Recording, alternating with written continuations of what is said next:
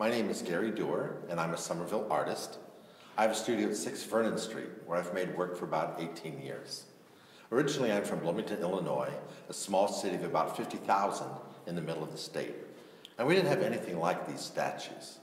Neither did Southern Illinois, where I studied photography, or Iowa City, where I got an MFA in poetry and did intermediate studies in the art department with Hans Breder, a German artist who was part of Fluxus in New York in the 60s. So these were all new to me when I moved to Somerville from Iowa in 1984. I live in East Somerville now on Oliver Street in an 1830s era brickworker's cottage with my wife Leslie Valentine. Like most people who come to the city for the first time, one of the first things I noticed in Somerville were all the statues in front yards. I heard the nicknames too, like Virgin on the Half Shell and Bathtub Mary.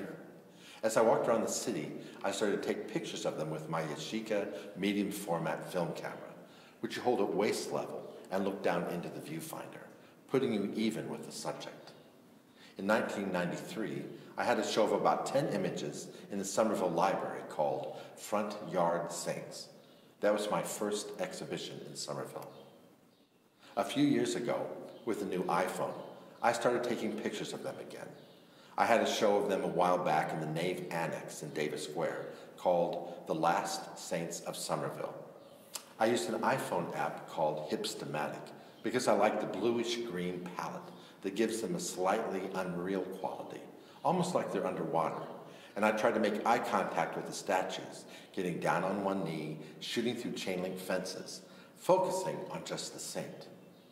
I wanted to humanize them, give them some dignity that reflects the amount of care that their owners often put into them, painting the details, wrapping them in plastic during the winter, making elaborate pedestals or niches. I've seen saints in the middle of lush gardens or enclosed in plexiglass boxes with miniature families around them.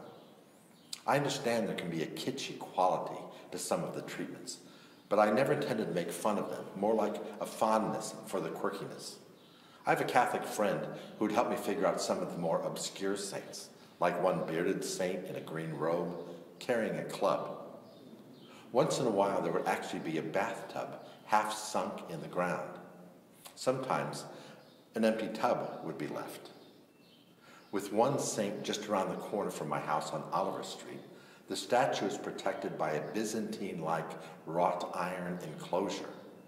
Interestingly, one of the first statues I photographed in Somerville is right next to the house I bought 20 years ago.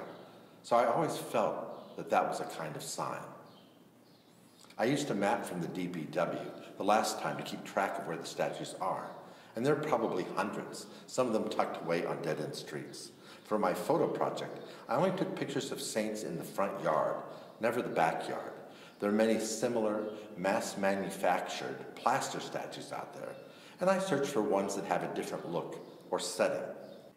When I was taking photos with the iPhone a few years ago, I noticed that many of the statues were missing as the housing bubble converted single-family houses into luxury condos or even gut renovated them. A couple years ago, I did a separate project called Gut about this issue. The black and white images were printed on canvas and posted to the outside of a basketball court near Davis Square. I think these absences will keep happening as Somerville changes and the older generation moves or dies. I've never seen a new statue put in place, only yards with missing saints. So the photos also become a record of a way of life that's fading, with a tinge of nostalgia. Sometimes the, the decay or erosion on a statue suggests this too. I'm not very religious. I describe myself as agnostic and definitely not Catholic. But I can still feel the power of these figures and their life in the family of the owners. In my neighborhood that has lots of Salvadoran, Tibetan, and Portuguese families, the loss of the statues feels acute. It's like how much I miss the over-the-top Christmas lights display on a big house on Glen Street around the corner, where the illumination tour used to stop. Maybe someday there will be a park for all the uprooted saints, like the Neon Museum in Las Vegas.